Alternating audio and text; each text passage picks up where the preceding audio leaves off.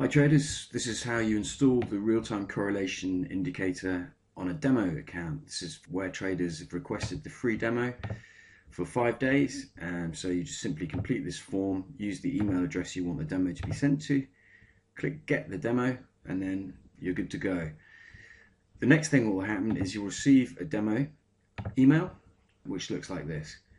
And there's an installation guide, a video installation guide, and a frequently asked questions link so check those out. But the installer link is the one you're interested in. So click on the installer link and it will download a package which is a zip file. So make sure you've got a zip utility installed on your machine. I'd recommend 7-zip, which is free if you don't have one already installed. So Google 7-zip. So when you actually open this zip file up and unpack it, you'll get an application called FXA Real-Time Correlation Setup JFX. So when you double click this, it'll ask you whether you want to run the system. And so click run and you may well get a UAC, user account control warning saying, are you sure you want to run this? Click yes. And the installer screen will pop up next. So click next. Read through the license agreement, make sure you're happy with that. Click I accept the agreement, click next. And the next bit is really important. So go to your MT4 account, you want to install it. So open MT4. Now click File, Open Data Folder, and then this is the address of the MT4 data folder up here. So right click in this bar and click Copy Address as Text. Now close that down and close MT4 down too. And simply go into here, make sure it's empty, right click in here and click Paste.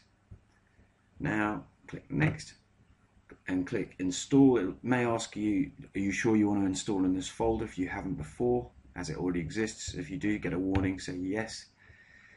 Now click finish, and that's the installation completed. So now let's reopen MT4, and let's load a chart. And I'm just going to tidy this chart up, so I make it a line graph. Right click in the chart, select properties, and go to the line graph uh, option in colors and select line graph none. That will remove all the, the uh, price data on this chart and remove the grid as well.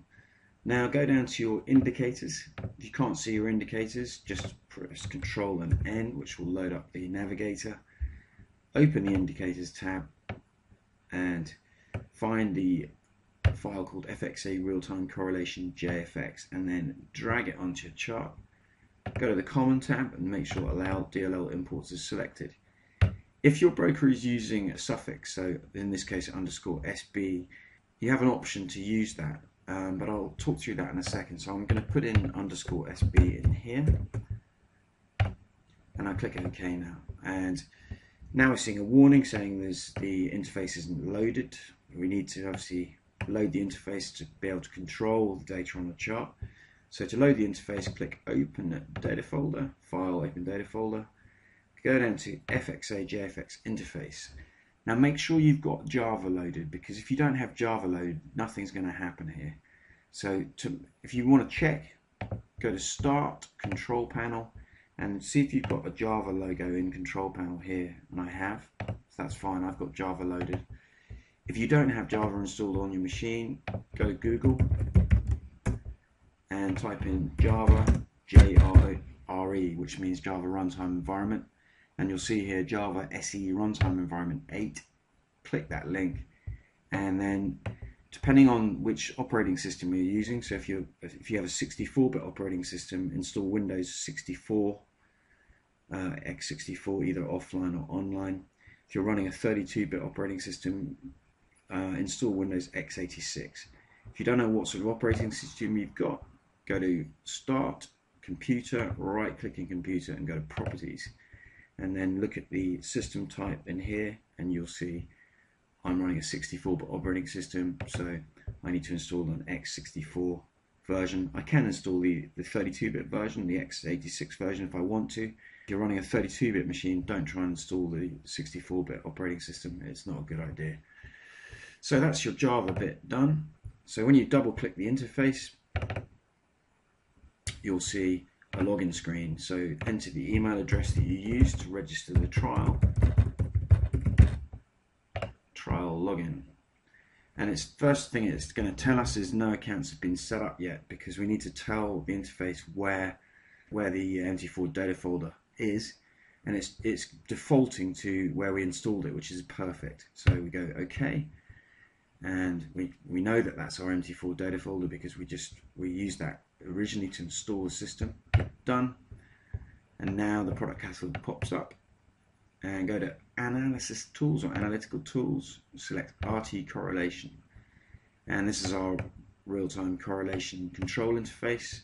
Move that way you want it. I'm only using a 15 inch monitor here so this is quite a, a small space but you can resize this window way you want it to be. And you can obviously scroll through the controls accordingly now click on your chart and just change the time frame now and you'll see all this data is now popped back up. And we can now control what we're seeing. So if we want to re reduce the number of pairs that we're monitoring just just delete some. So I'm just removing some of these pairs here and I'm just going to track 10 currency pairs to start with you can see in a second you'll see the actual display reflecting our changes. We can control colors and all that kind of stuff text size if we want to so I'm just increasing the text size accordingly. And I can obviously track uh, assets which aren't necessarily uh, FX so if I want to look at say things like um, commodities I can do. However on this particular account if I go view market watch you'll notice that let's just make this a little bit bigger the forex pairs are using an underscore SB suffix, whereas the indices and commodities are just using an SB suffix, which is a which is a bit of a problem for us. So what I'm going to do is I'm going to go to my indicator list. I'm going to remove the suffix and then click OK. Now we're going to get not applicable on all of our correlation data here. But that's because it's expecting a suffix. So what I'm going to do is I'm going to add the SB suffix in, underscore SB for the forex pairs in here. So just paste that in and you'll see the correlation data beginning to be reflected as I paste those in. And now I want to see how oil or something, something like oil or another commodity is correlated against these. And I know that oil is using WTI SB. So I'm just going to type in WTI SB make sure it's actually correct case wise it's important. So WTI SB, and now you'll see we've got oil correlation data up here but we've also got a clash. So all of this data is getting a bit kind of pressed against each other. So let's go to our text size and we'll increase that to say 10 which is still not making things any better so I'm going to use a custom spacer function in here and I'm going to use something like 100 and now that's spread everything out properly for us. So if we look at this on a slightly larger chart window, we can see everything now being displayed in a non-overlapping uh, way. So that's how we, we configure the system. There's loads of color controls and all that sort of stuff. So you can control your positive and negative thresholds, title colors, uh, asset colors, 100% colors and all that kind of good stuff. So you can play around to your heart's content and get it exactly how you want it. Um, we've also got options to only show positively correlated assets. So if I select that, you'll see that in fact we haven't got any um, positively correlated assets over 80 on this time frame on H1. So if I reduce the threshold for positive correlation, I'll reduce that to say uh, let's say 70. See what if anything's coming up at 70. Yes, we have. So we've got a few pairs here which have a high correlation on the hourly time frame that's 73 or above 70 basically. In the same way I can show negatively correlated assets and we've got only a few here so euro dollar and US dollar Swiss franc virtually almost well highly negatively correlated at minus 94 and so on.